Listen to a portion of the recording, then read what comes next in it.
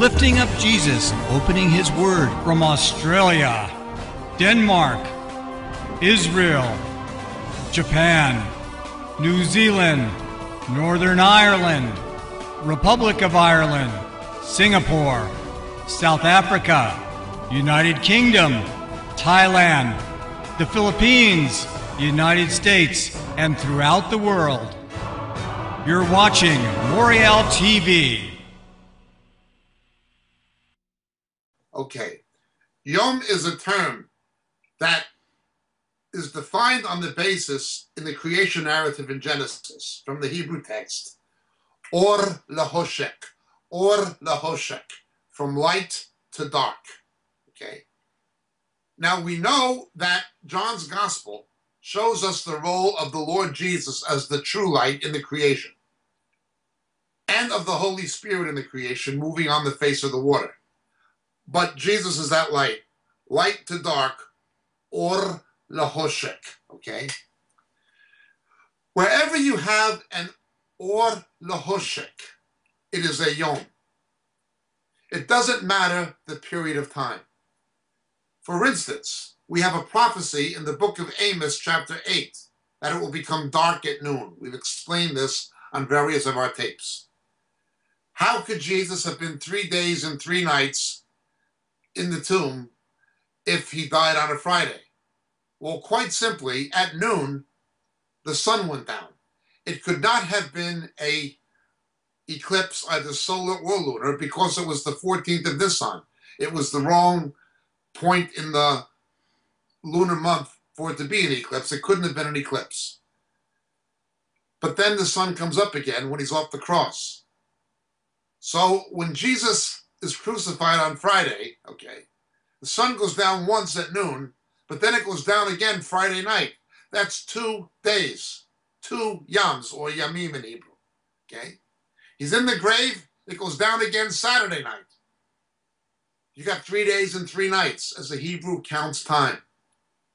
Technically, if you can believe it, there's actually halacha, rabbinic instruction for Jewish scientists working in the Antarctic or the Arctic because a day is six months.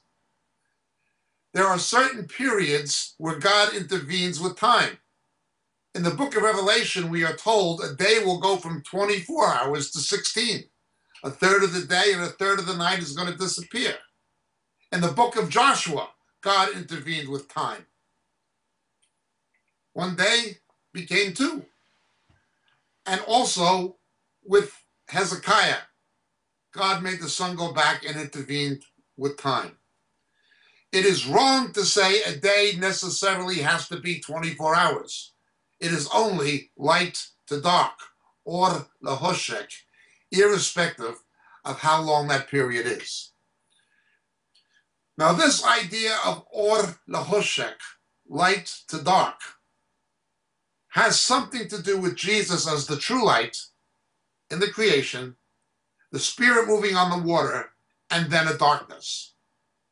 This becomes applied eschatologically and figuratively in Scripture, particularly in the book of Revelation, but also elsewhere.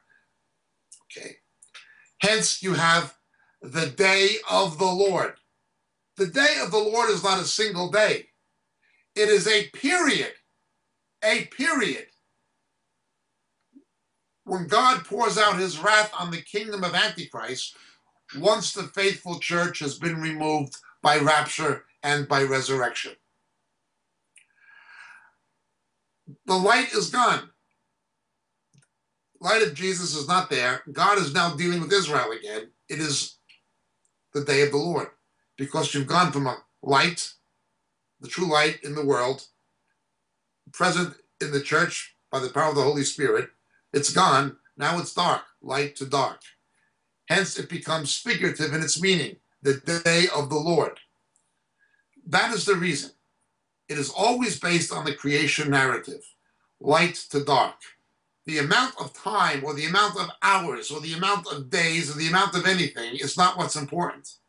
What's important is or lahoshek, light to dark.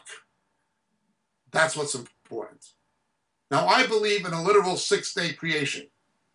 A literal six day creation, I believe, in six periods of light to dark, God created the universe as we know it, the biosphere the earth. But the book of Genesis does not tell me that those days are 24 hours. Now, I don't believe in theistic evolution. I don't believe that because that would require death, and death came as a result of sin. I don't believe in theistic evolution. I believe in creation. But how long of a period the day is, that varies in Scripture. It varies. In Joshua, it was 48 hours. Revelation, it's 16 hours. In Greenland, it's, it's six months. It's going to be a period of tremendous darkness. It's going to last at least three and a half years at the end of the age. The light will be gone.